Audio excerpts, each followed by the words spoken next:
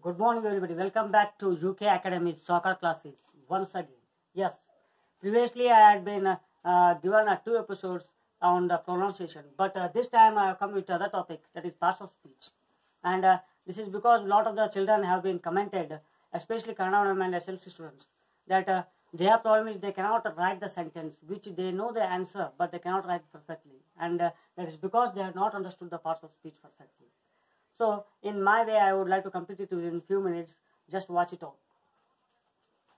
Parts of speech ಇದು ಬಹಳಷ್ಟು ಏನಪ್ಪಾ ಅಂತಂದ್ರೆ ಈ ಗ್ರಾಮರ್ದಲ್ಲಿ ಉಪಯುಕ್ತವಾದಂಥದ್ದು. ಯಾಕಂತಂದ್ರೆ ಪಾರ್ಟ್ಸ್ ಆಫ್ ಸ್ಪೀಚ್ ಇದ್ರ ಅರ್ಥ ಹೇಳ್ತದ. ಈ ಏನಪ್ಪಾ ಅಂತಂದ್ರೆ ಆ ವಾಕ್ಯದ ಬಿಡಿ ಭಾಗಗಳು ಅಂತೇಳಿ.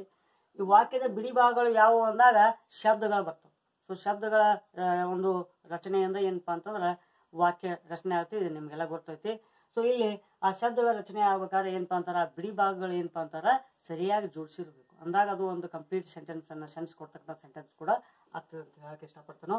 ಮೊದಲು ನಾವು ಒಂದು ಎರಡು ಮಿನಿಟ್ ಇಂಗ್ಲೀಷಲ್ಲಿ ಹೇಳಿ ಆಮೇಲೆ ಏನಪ್ಪ ಅಂತ ಕನ್ನಡದಲ್ಲೂ ಕೂಡ ನಿಮಗೆ ಎಕ್ಸ್ಪ್ಲೇನ್ ನಾನು ಮಾಡ್ತೇನೆ. So see the parts of speech here I have divided to three parts you know there are eight parts of speech in English that is noun pronoun verb verb, adverb, adjective, preposition, conjunction, and interjection. But I have divided them into uh, three groups to make you understand easily.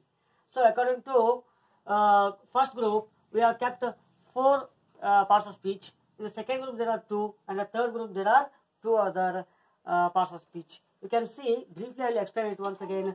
The noun, you know, a naming word is called as a noun. ಯಾವುದೇ ಒಂದು ಹೆಸರನ್ನ ಸೂಚಿಸುತ್ತಪ್ಪ ಅಂತಂದ್ರೆ ಆ ಹೆಸರನ್ನ ಸೂಚಿಸ್ತಕ್ಕಂಥ ಪದಕ್ಕೆ ನಾವು ನಾಮಪದ ಅಥವಾ ನೌನ್ ಅಂತ ಹೇಳ್ತಿರ್ತೇವೆ it may be the name of the person name of the place name of the thing name of the bird animal etcetera ಯಾವುದೇ ಒಂದು ಹೆಸರು ಕೂಡ ಅದು ಹೇಳ್ತೀಯ